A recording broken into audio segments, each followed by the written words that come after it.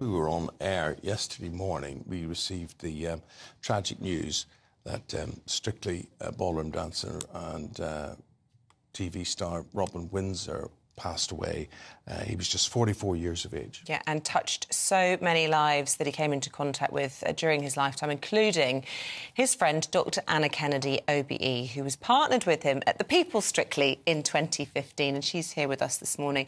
I mean, terrible, terrible loss. Um, what did he mean to you? Um, I first met Robin in 2015 when I was partnered with him with the People Strictly, and we just became really good friends. And he also taught me what fun was again because I'm so focused on what I do with the charity, and I've got two autistic sons, um, and I'm campaigning continuously. And he said, Anna, You've got to do something just for you. You're always doing things for other people. This is just for you. So we had so much fun. Um, he supported the charity. He came to lots of different events. He was a genuinely nice, lovely guy. I knew he suffered with mental health. Yeah, but, that's um, what's particularly poignant about that. He's saying you've got to do stuff just for you. Yeah. You've got to have fun doing it. But he, he may not have been practicing what he was preaching. Maybe not, but I think dance was his escapism, like it was for me, you know, when I was with him for the three months. So, um, yeah, it's just, I think the thing is, there's a lot of people that are struggling at the moment with everything that's going on in this uncertain world. And it's just talk to somebody. You've got, just got to speak to somebody. It is hard. But and sometimes people Do just. You know what, Anna? There's nobody to speak to. I know that. I, I talk I, to speak... people in this field and, and, and they talk about mental health assistance. And I know from personal experience within my own family circle mm. that the help is just not there. I know that with speaking to many families who've got autistic children and adults. They are really struggling at the moment, whether it's to do with education, getting a diagnosis. You know, once they get to 18 to 25, where's the help? There isn't the help there with social care.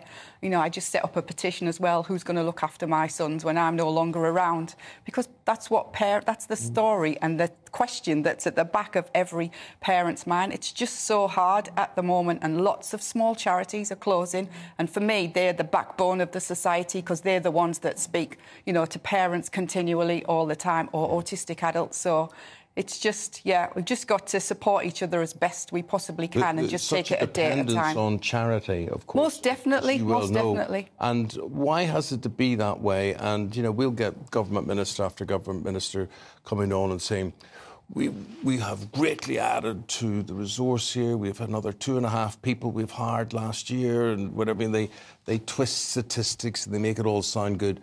But I know from the work I do in the charitable world, and I know from people who I, I know personally, it just isn't there. So stop telling it, it it is. And the thing is, the demand for mental health care has just whoa, ballooned.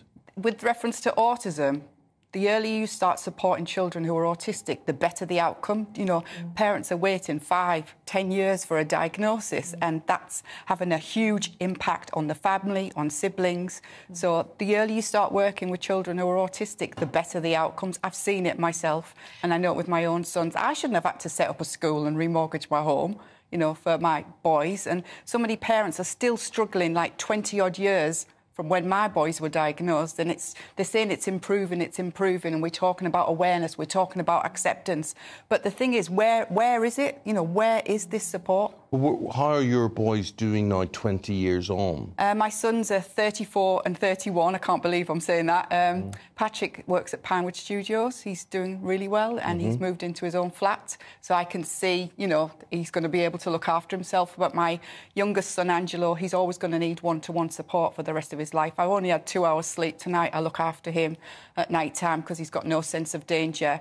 Um, he's working on his independent living skills all the time. But what's happening is, when you see programmes on the television, they're always about adults that are articulate, you know, that are high functioning, Asperger's syndrome or autism, but they never show the adults that constantly need one-to-one support like my son you know angelo i have to be around for him all the time and it's hard mm. because i'm juggling caring i'm juggling you know taking him to college, picking him up. You know, I'm running a charity, I'm doing events. I know I'm a workaholic, but I'm very passionate and I'm very driven about what I do. And, and if I don't do it, who else is going to do it for me? And I know there's so many parents that are really, really struggling at the minute.